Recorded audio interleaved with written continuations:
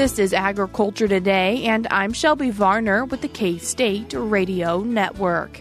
K State grain economist Dan O'Brien begins today's show with this week's grain market update. He says what action the markets have seen as we enter the last month of the year. Continuing the show is an episode from the Beef Cattle Institute's Cattle Chat podcast.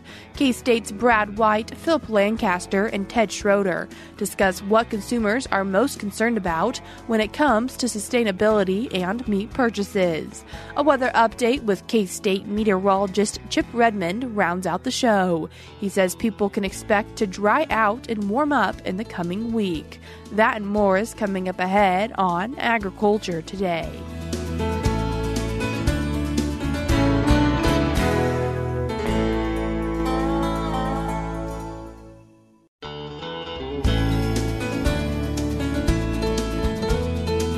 You're tuned in to Agriculture Today, and we start our Friday show with this week's grain market update. And as always, we're joined by K State grain economist Dan O'Brien. Dan, thanks for joining us today. Thank you, Shelby. Dan, beforehand, you're talking about how market prices are hitting lows, especially for corn and wheat. Well, I, I think on the minds of uh, Kansas farmers who harvested their crops this year, and if they if they're holding their crops, they're wondering about whether we're at harvest lows. And and of course, for corn, we, have traded down into the 470, 480 area thereabouts on uh, Thursday of this week, the the 30th, yesterday basically, uh, 461 and three quarters was the price that we traded down to, and the March contract 486 and three quarters for corn for the close. So what's what's happening both in the corn contracts with those prices and in and in wheat, again with uh, wheat closing yesterday 643 and a quarter for for the Dees contract in March at 643. We've entered now into the delivery periods for those contracts. So it would be a great time to, to actually have harvest lows. And, and uh, when you look at the traders' positions, again, and there generally are commercial commercial traders, again, elevators, physical users, those that lend liquidity to the contract. That would be the more speculative traders, uh, manage money, we call them politely, and then also index traders. So you you look at at folks like that, and they've had short positions, uh, particularly for corn, for a fair amount of time now. I looked at some of those numbers. They've they've built up quantity of of short positions, sell positions on them, and are at the point now where we, have had lows. Here we're going to be closing out of out of those contracts, and, uh, with so many people having short positions, they have to buy their way back out. So that tends to take prices up higher. So you've you've got that that type of action coming on, and and raises the question of whether this will lead to to a change in market direction.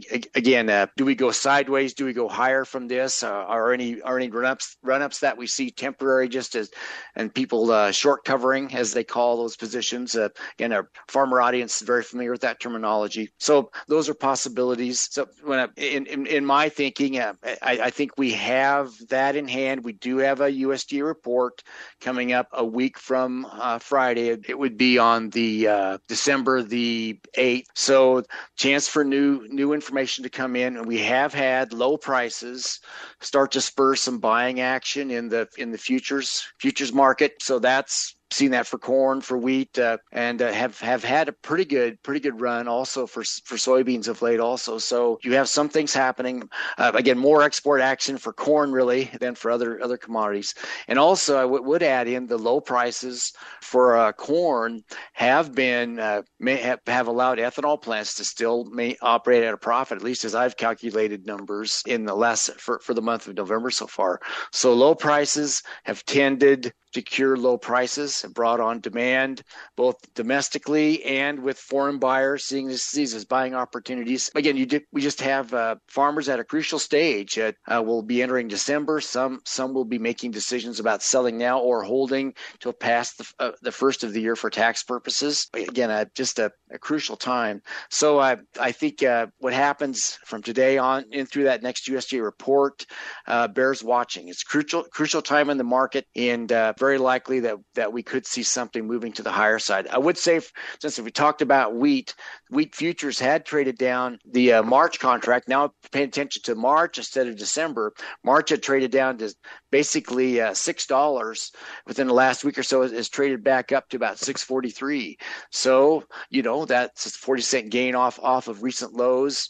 Uh, at least get garners attention as to where where the markets might be going, and and, and that's before we start looking at uh, at things happening overseas. Uh, Russia rattling their saber about uh, holding back on sales and all sorts of things coming in. So you have all that happening. So I, I think it's quite a time, and and it, it's an important time for uh, decision makers, for especially for that are holding any old crop grain with regard to uh, their hopes that that we'd be seeing lows in the market and moving at least sideways to higher from here on out. If you'd like, I could talk about the cash markets also, uh, Shelby. Go for it, Dan. So the downside of what we've just been talking about is that cash corn prices across the state have, have uh, are at or below five dollars in almost local, all locations.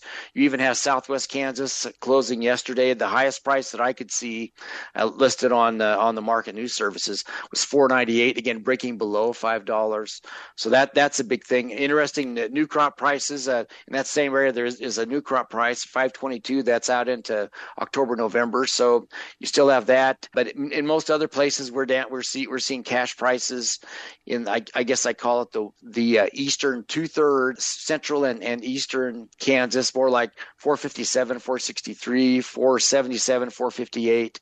So uh, again, uh, any, anybody that uh, is holding old crop grain is hold, hoping for something uh, markedly higher than that to reward them for storage. Grain sorghum bids, as we've been talking all along, you still see in, in key export areas a premium of, of grain sorghum prices to uh, to cash corn, uh, and you see most of those. And again, this uh, Salina strongest, Salina and Hutchinson the strongest premiums, but also some stronger gr- sorghum prices in the Topeka area. Soybean prices we have seen with some strength here of late in the Topeka area over thirteen dollars for uh, cash soybeans.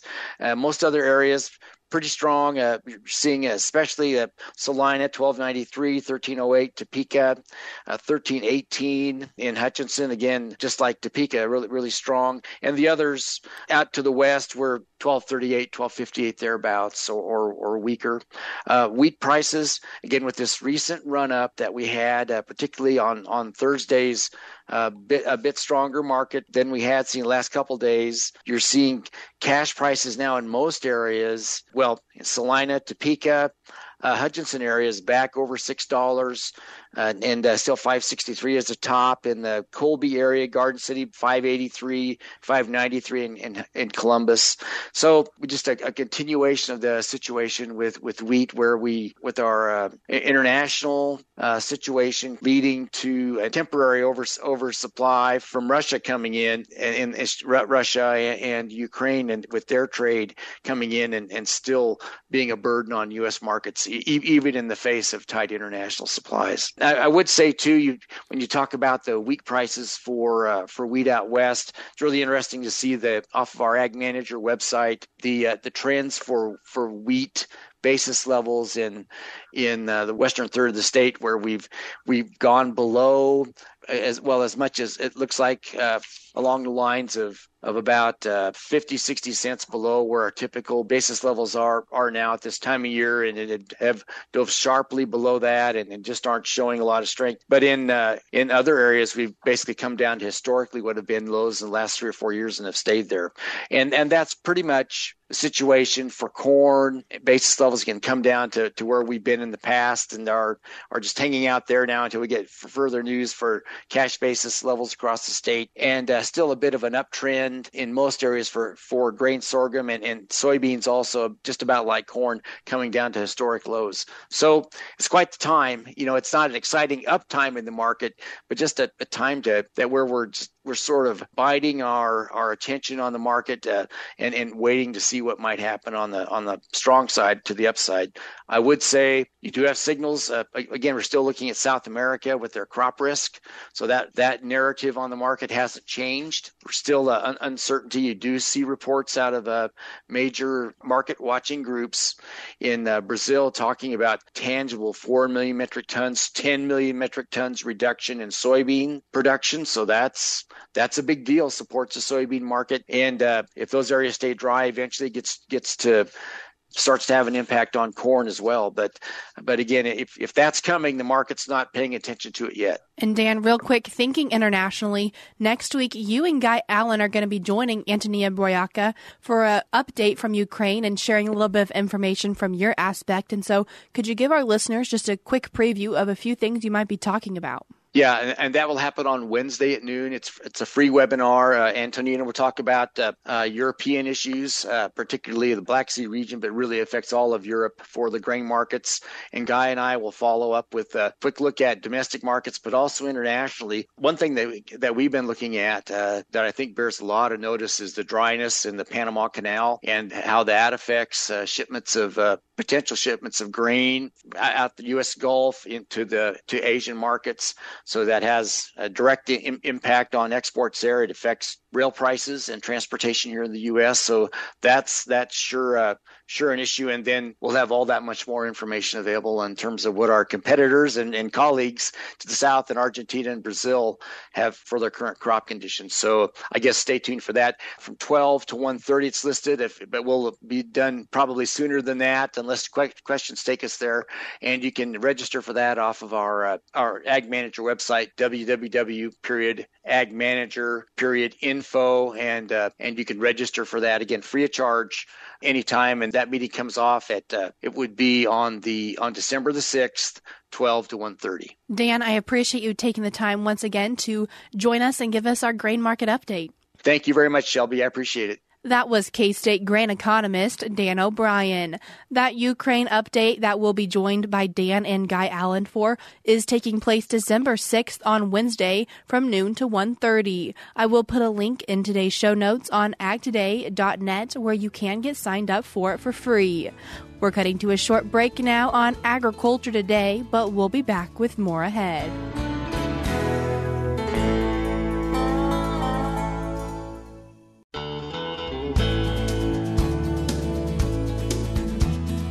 You're tuned back into Agriculture Today, and we continue our Friday show with part of a podcast episode from K State's Beef Cattle Institute's Cattle Chat podcast.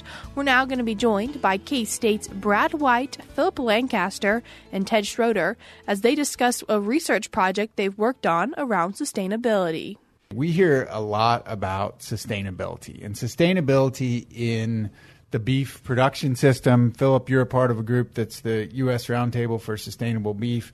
One of the questions that has frequently arisen is what is sustainability and what does it mean? And that can be addressed to either producers or consumers.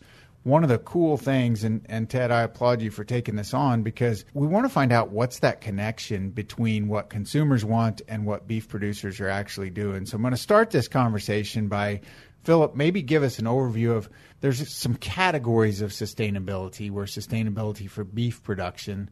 Tell us what those categories are, and then I'm going to ask Ted about what he found on some of the survey work. So typically, kind of we we kind of categorize sustainability in what we call three pillars. So there's the economic pillar, which has to do with profitability at the ranch level, um, just economic activity in the, the community and, and things like that. There's what we call the social pillar, and that has to do with things like antibiotic stewardship, animal welfare, and just the general public's perception of an industry, not just beef production, but just any industry. And then there's the environmental pillar, which is the one we seem to hear the most about and, and kind of think the most about, I think, when we hear the word sustainability, but it involves like greenhouse gases, water quality, soil health, um, all those type of things. So, Ted, one of the things we had a conversation early on, and you mentioned for beef producers to implement changes and hit sustainability metrics, often there are costs associated. And finding out if those different metrics have different costs, are they meaningful to consumers? So, you and, and one of your students, Elias, start, worked together to put together a survey, and, and we talked about that as well. What are, what are some of the thought process that goes into it, and how, how did that research go? Well, one of the most important things first, I think, to put in context is where does sustainability and the components that uh, that Phillip mentioned around sustainability, where do those rank in terms of consumer preferences? And while they are important, there are some other components that the consumer absolutely demands that beef products have.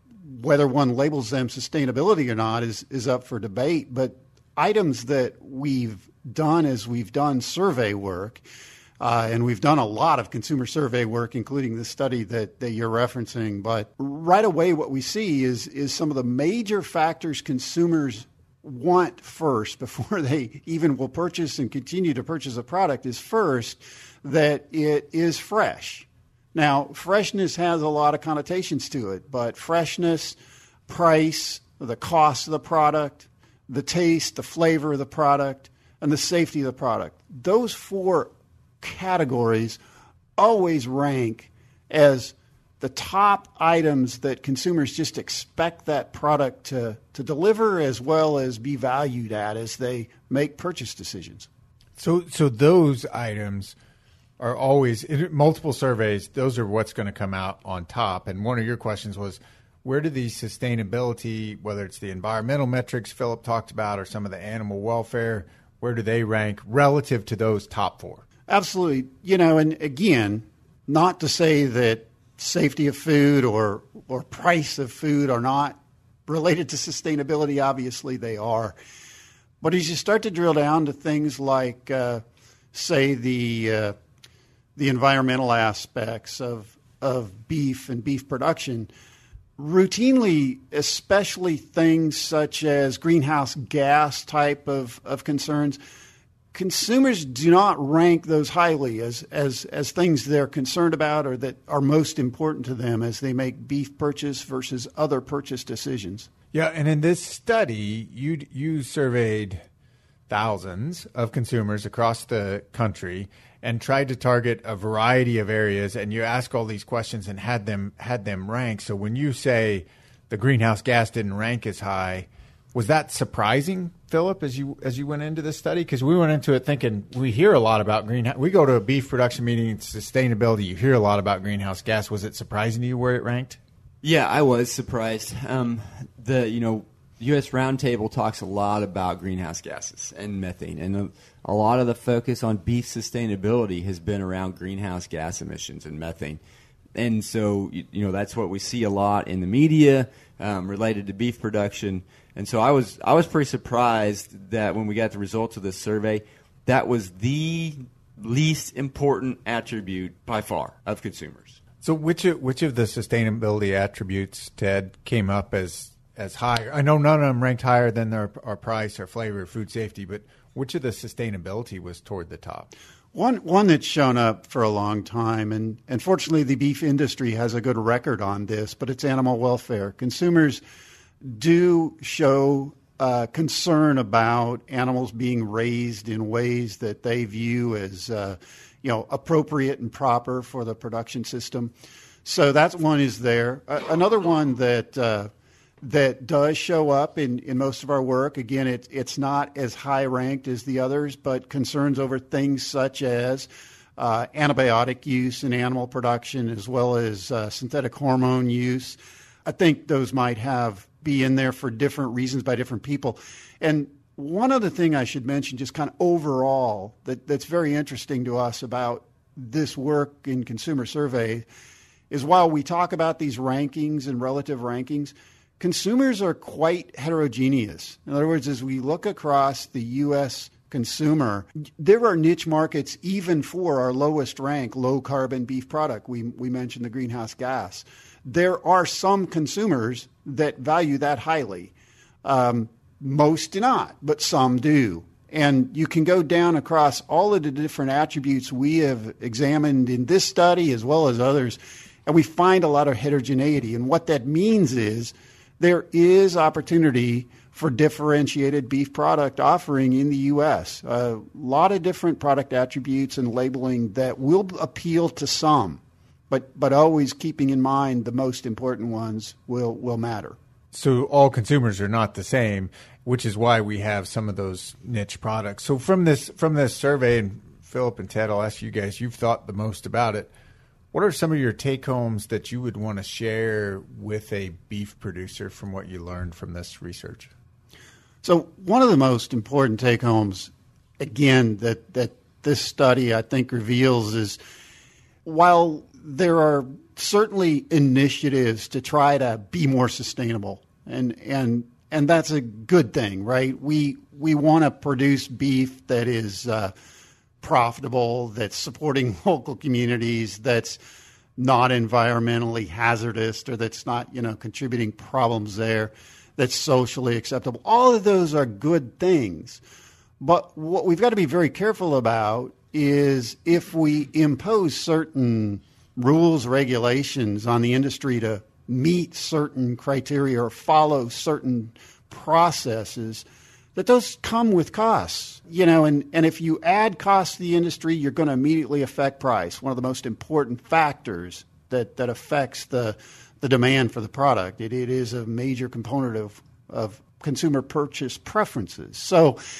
it's it's just really important that I think as we go down the industry uh, from a policy perspective of carefully evaluating the trade-off of say imposing a regulation around or, a, or or some metric of measuring greenhouse gases or something else that that it can't come with added costs or it will be problematic for the entire industry. It could do definitely more harm to the industry than it could help it. I think one of the things that comes across to me uh, from a per, like thinking from an individual producer standpoint is the animal welfare type of aspect and the high ranking that that got in the survey.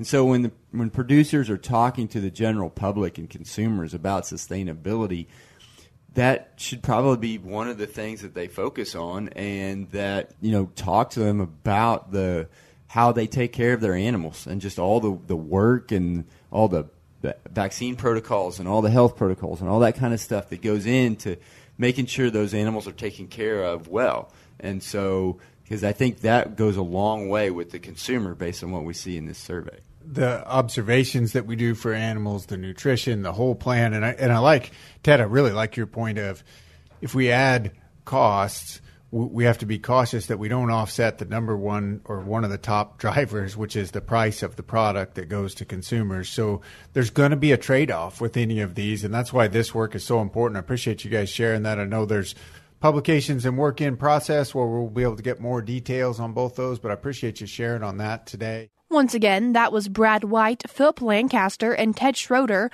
on the Beef Cattle Institute's Cattle Chat podcast. You can find it by going to ksubci.org or searching for it on your favorite podcast streaming platform. I will also link it in today's show notes on agtoday.net. We're cutting to a short break now on Agriculture Today, but when we come back, we'll have this week's weather update.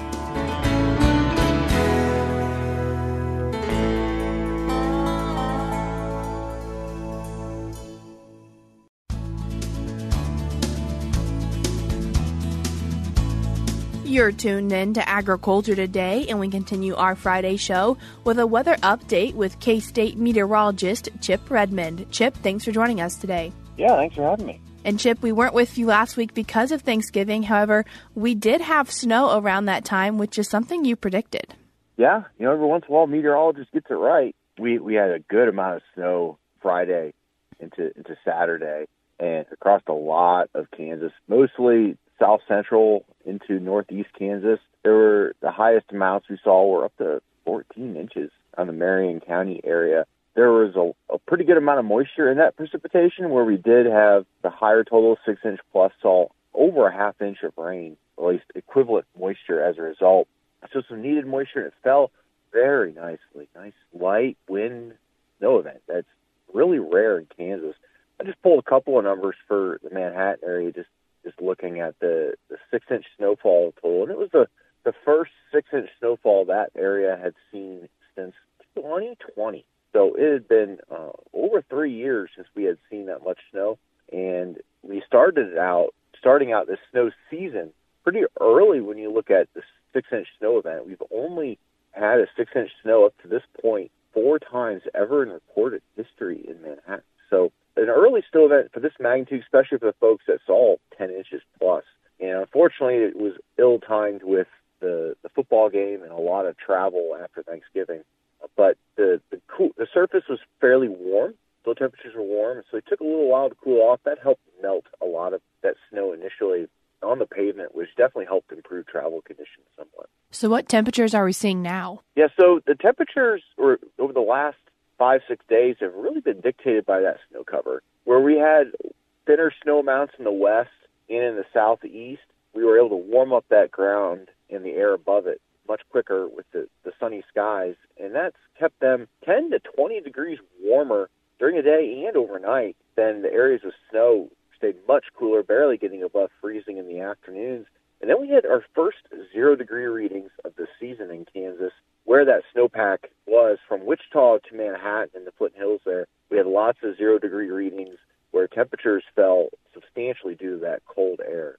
Can people be expecting to see some more precipitation coming up? so we, we had some light precipitation in the southeast and then in parts of central and, and northeast Kansas, saw a little bit of mixed precipitation early Friday morning. That's going to kind of continue. Uh, we're going to see that gradually taper off into Saturday morning. We'll have things clear out. That'll be our last chance precipitation for a few days, potentially even a few weeks. With with temperatures on the on the climb, we're going to be above normal. Our average highs are in the mid 40s, and our average lows are in the mid 20s. So we're going to be running about five to even 10 degrees above normal for most of next week uh, across the state, and that's going to melt off any snow that we have remaining, and definitely be a nice tra- nice break after the the cooler weather over the last week. But we could use some more moisture. We really need that moisture component. That doesn't look very likely after this system uh, this weekend. And Chip, are we seeing any moisture in a farther outlook? Yeah, there's a lot of interest in the long-term forecast right now. It looks uh, through mid-December, dry conditions and warmer. We'll have a couple cold fronts come through middle of the month, and then we look at a pattern change, and this pattern change has signs of cold Arctic air in the north. It's a polar vortex. Looks like it's going to weaken with the stratospheric warming event. And that's going to result in dips of that Arctic air southward into the, the mid latitudes where we live and might open the potential for some pretty cold and active weather uh, mid to late December. So it'd be something to keep an eye on with Christmas time. And we might go two for two with, with cold and snow for the holidays.